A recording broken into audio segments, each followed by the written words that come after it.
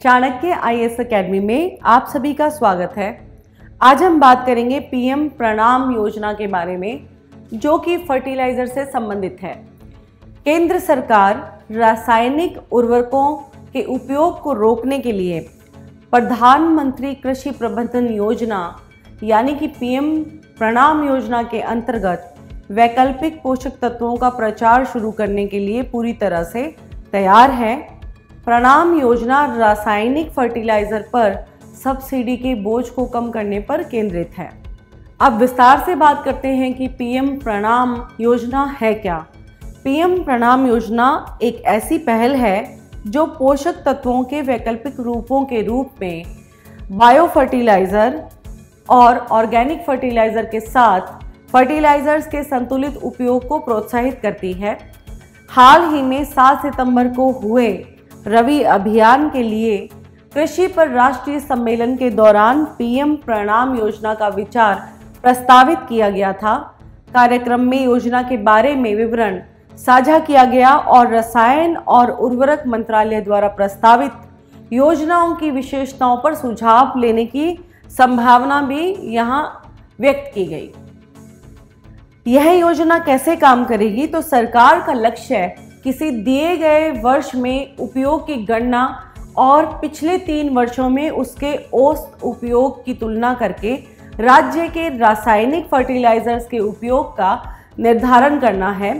इसके लिए उर्वरक मंत्रालय के dashboard integrated fertilisers management system पर उपलब्ध डाटा लिया जाएगा। इस योजना की आवश्यकता क्यों पड़ी?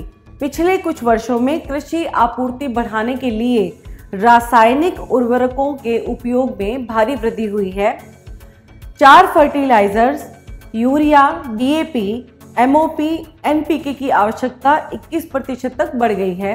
इस प्रकार केंद्र उर्वरकों के गहन उपयोग में कटौती करने और वैकल्पिक उर्वरकों को बढ़ावा देने का इरादा रखती है। किसान अपनी सामान्य आपूर्ति और मांग आधारित बाज़ार दरों से नीचे अधिकतम खुदरा मूल्य पर रासायनिक उर्वरक खरीदते हैं। गैर यूरिया उर्वरकों की एमआरपी कंपनियाँ तय करती हैं। इस प्रकार केंद्र सब्सिडी के पैसे का भुगतान करता है, जो कि दो राशियों के बीच का अंतर है। उचित मूल्य सुनिश्चित करने के लिए केंद्र इन पोषक तत्वों पर एक समान प्रति टन सब्सिडी का भुगतान करता है। तो यहाँ तक हमने जान लिया कि इसकी आवश्यकता क्यों पड़ी और इसको लागू करने से किस तरह के लाभ हो सकते हैं। अब हम बात कर लेते हैं कि पीएम प्रणाम योजना को कैसे वित्त पोषित किया जाएगा। इसका मुख्य उद्देश्य सब्सिडी बचत का 50 प्रतिशत राज्य को अनुदान के रूप में देना होगा, जिसमें से 70 प्रतिशत का उपयोग उन संपत्तियों के निर्माण के लिए किया जाएगा। जो वैकल्पिक उर्वरकों के उपयोग और उनके उत्पादन को गाँव, ब्लॉक और जिला स्तर पर बढ़ावा देंगी। कुल अनुदान का शेष 30 प्रतिशत। किसानों पंचायतों किसान उत्पादक संगठनों और स्वयं सहायता समूहों की मदद के लिए इस्तेमाल किया जाएगा जो उर्वरक उपयोग को कम करने और जागरूकता फैलाने का काम करते हैं। पीएम प्रणाम योजना जल्द ही शुरू होने की संभावना है। संबंधित विभागों के निर्णयों को शामिल करते हुए इसका मसौदा तैयार किया जाएगा। इस प्रकार पीएम प्रणाम योजना के बारे में हमने संभावित सभी तरह की बात कर ली है। कल हम फिर मिलेंगे एक नए टॉपिक के साथ। आप हमारे YouTube चैनल को लाइक शेयर और सब्सक्राइब ज़रूर करें। तब तक के लिए धन्यवाद।